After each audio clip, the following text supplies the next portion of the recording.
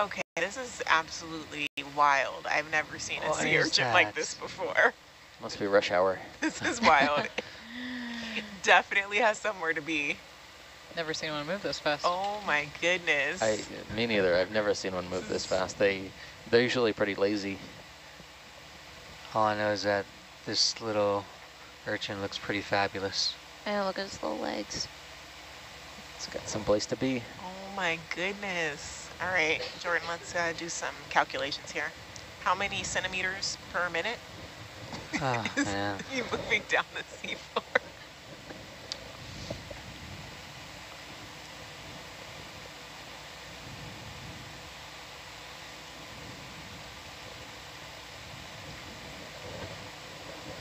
I got really far away from. Definitely a, a four or a five, I Yep, would say. I'm, uh, I'm on it. I'm gonna bump the camera down so I can get closer to him. You can do the lasers off if you want to, uh, while you get imagery. Booking it. And those appendages on top, like what? Yeah. Gotcha. So this is a sea urchin Gotcha. A Phormosoma, and uh, Oh, has okay. these modified tube feet uh, always off. on top of it. You turn the I want to know off, what the function is. I would like to know also, um, I'm guessing it's stability, maybe? Oh, They seem somewhat maybe buoyant, but uh, Have you ever seen a sea urchin take off the seafloor? not yet. Not yet. That would be a surprise. All right, I think he's tired.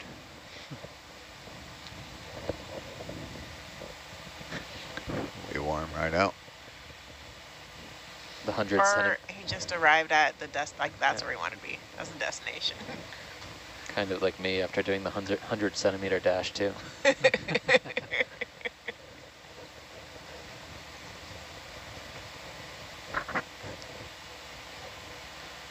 the tube feet though, this is just so strange. And to see one moving that fast, since I've spent a lot of time in intertidal zones like Tammy, that you know, we don't get this with our sea urchins. Yeah. Oh yeah, sometimes sea stars you find them just moving like really fast. It's, it's amazing how they coordinate that. All right, I think that's it. Thanks. That was fun. A hundred centimeter dash. 100 centimeter dash.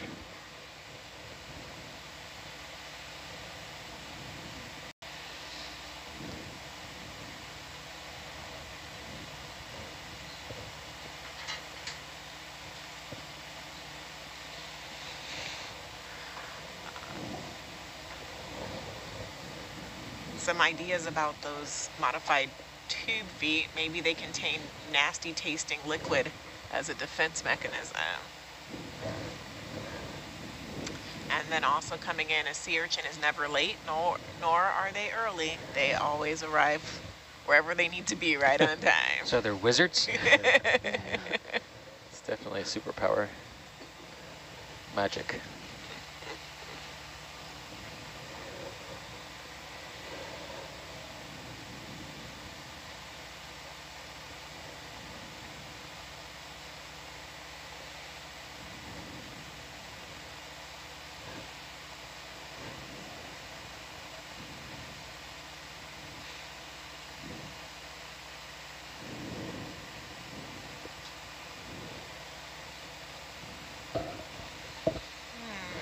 This is kind of an interesting thing to think about. Are microplastics being found in corals and sponges in the deep? Um, let's Is see. anybody looking at that? Are they incorporated into the, you know, the deposit and sediment feeding? In the shallows, I know that's definitely been looked at. In the deep, um, I don't know if anyone's actually looked at microplastics in coral, deep water coral tissues. Uh, I'm sure someone's working on it, uh, or it maybe has been published. I'm just not aware of it. So, Steve, did you uh, still want to pop that Niskin? yeah, whenever you want to, uh, this looks good in this area. Yeah, if you wreck back there, I'll pop it.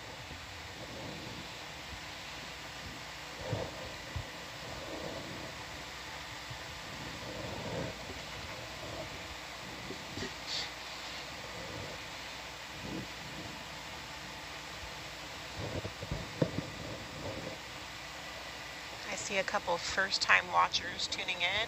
Thank you so much and welcome. Thanks for joining us. Turning on porch light too. I don't, I don't need it. No? Right Yeah, now, we love we porch are light so um, much. going to take a water sample using one of our Niskin bottles. So that's what you're looking at on the feed.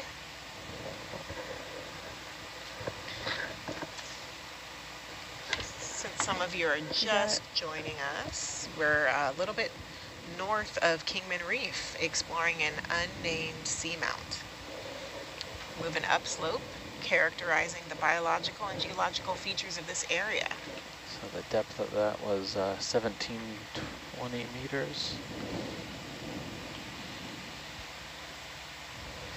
And um, make a note down if you could, that's uh, uh, no corals or sponges in the area, control. Well,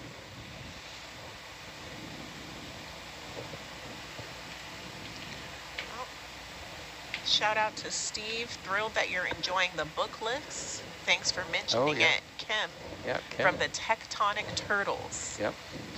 Tectonic turtles.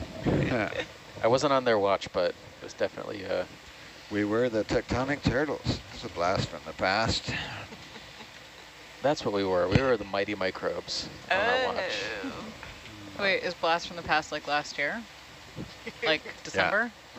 like a couple months ago. What did you say you were? So there was the Tectonic Turtles and the magical microbes? What did you Mighty say? microbes. Mighty Mighty microbes. microbes. So now the alliterations were in the game. That Yeah, you gotta, you gotta alliterate. Fish. Tripod fish, yeah. Tripod? Micro tripod.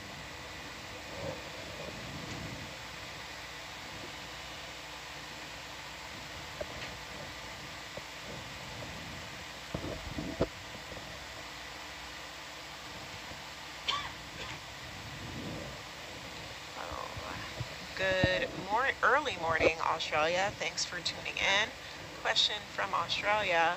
There seems to be lack of marine snow in this region. Is that why life is so sparse on the bottom during these dives? Can you repeat that? I was thinking about something Uh, we can pick up the speed here if you wish. Uh, yeah, what are we doing now? Half? Half a knot? Vessel's not doing anything at the moment. Yeah, we just completed a move. I was going to ask um, after Argus catches up. Yeah, whatever you need to do to get us to the base of that uh, rise near waypoint 9. Roger. To repeat the I could question. do uh, 0.5 if you want. That might be, depends if Steve wants to stop and look at stuff or not. I don't think we're going to stop and look at stuff, but kind of like as we've been doing, you know, quick flybys. Roger. Uh, but we're not going to stop and Okay, 0.5. sit down anywhere. Bridge now. 50 meters, bearing 050, and we can increase speed to 0.5 knots. Um, trying to find that question again. Why is life so sparse at the bottom during this dive? Is it connected to the amount of marine snow? Yes, uh, likely, um, but it's also very patchy. So we, we say things are, you know, communities are patchy if, you know, we find a bunch of different species. You high got to kind of limit your speed to one area, but not in zooming in and others. out. So 'cause in this will case, our patch was that rocky, know, hard substrate we explored for the first couple hours of this goose it. watch. Then you wind up Um, waiting with not so much look in this area so of I'll soft slow sediment. and slowly lateral back and forth if I'm bored. Okay.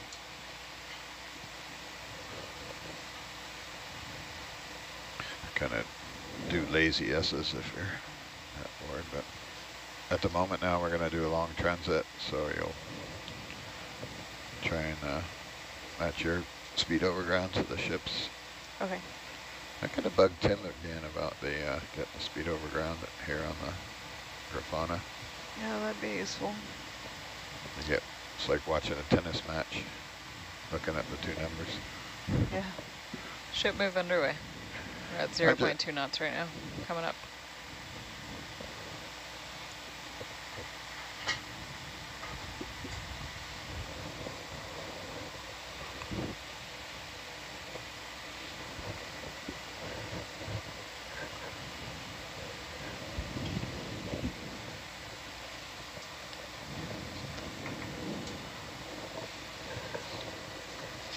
Yeah. Steve, what's the target now? Which waypoint? We're headed up towards nine.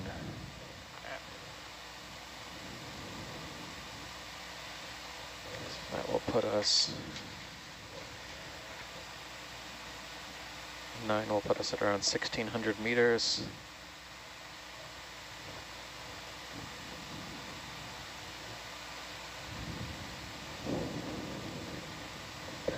You think we'll hit the summit um, during our watch? Uh, not likely, Okay. but we have time.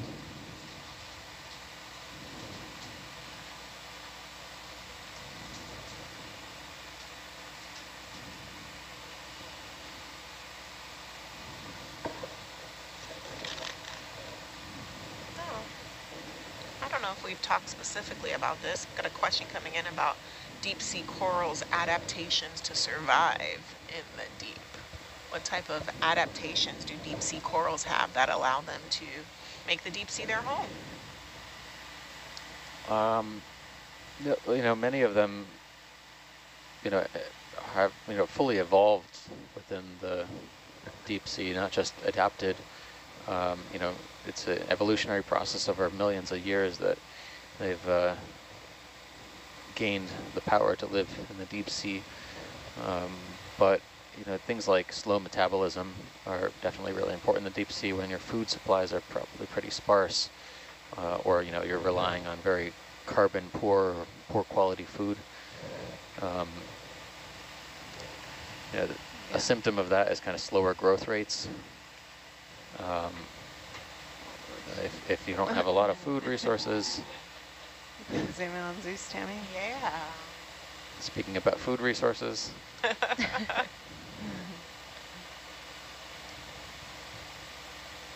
I feel like we need to turn this movement into a TikTok dance or something. Oh my god. Get Jamie on it. Called it the holothuroid. So, sea cucumber, correct? Thanks, right? Tammy. Yep.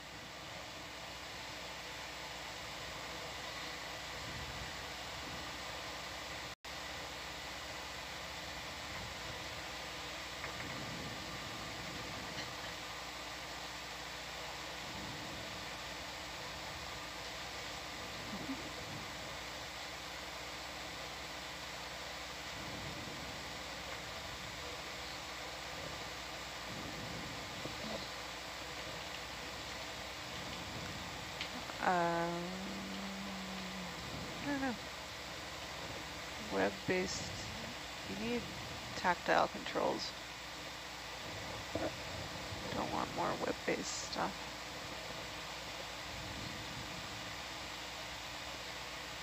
If you want to get nice adjustments.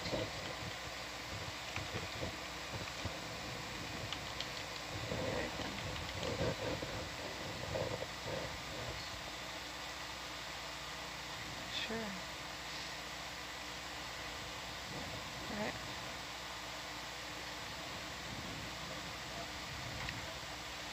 Wow.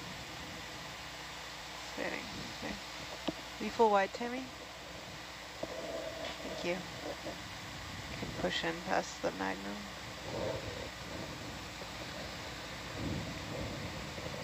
Bye.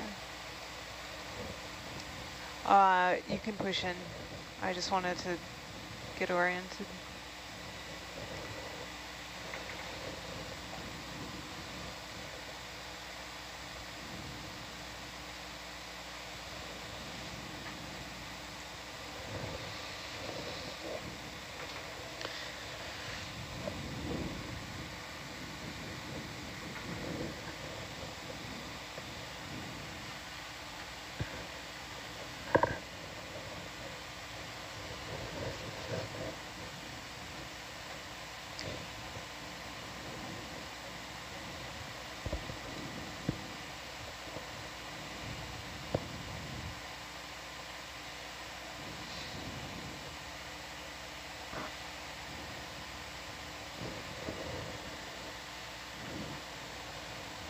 Question coming in from Long Island, New York about coral polyps.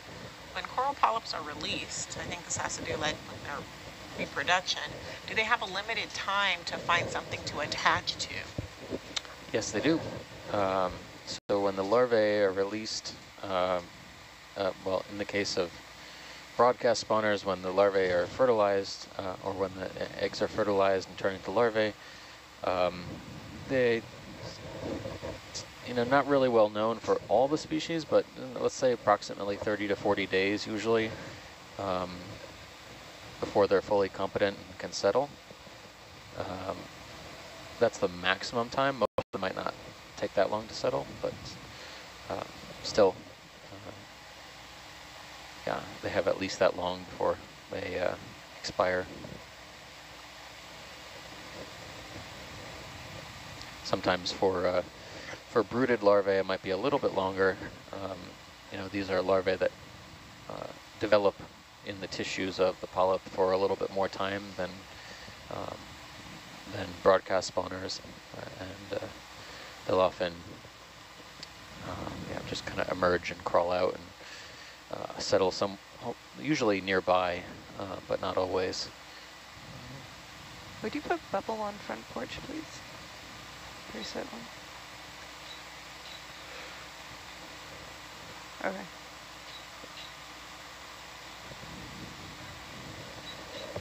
Go ahead, Bridge.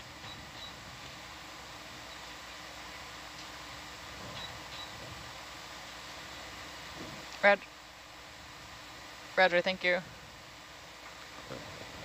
Lost station.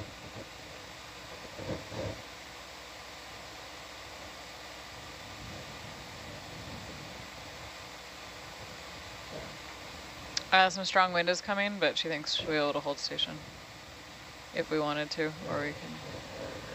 Let me see if we can keep going. Bridge nav. Are we able to continue going with a five meter step 050?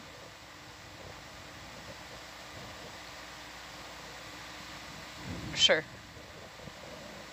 Roger. So we're gonna hold station here and let the squall pass. Yeah, it's up to 30 knots. Want to zoom in on the shrimp, Tammy?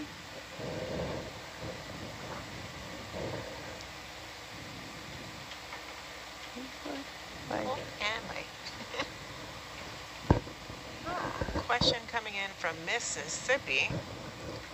I'm wondering if any species swim into the sample boxes and come up with the ROVs. Do we get any surprises sometimes um, after we recovered the ROV surprise samples? Seen a fish come up in the frame, just not in the sample box. We get lots of surprise samples. Leftover, leftovers. It's usually uh, quite the collection if there's any uh, budding geologists or biologists on the on the ROV team. They crawl over that vehicle and find all kinds of treasures. They get stuff out of the slurp hose. There's stuff in the grate on the front of the uh, of the vehicle. It can be bits of rock or slimy stuff. Or Nav, what's our transit time in uh, on these moves? What have we been doing, like uh, 0.2 or 0.3? Uh, yeah, point two. Okay. Can you um, do a quick calculation for me? Sure. And uh, see if we were to move at 0.2, assuming consistent pace from now through the end of waypoint, uh, 10. good time to long that might practice your take? landings. Okay, waypoint 10? Yeah. Yeah, stand by.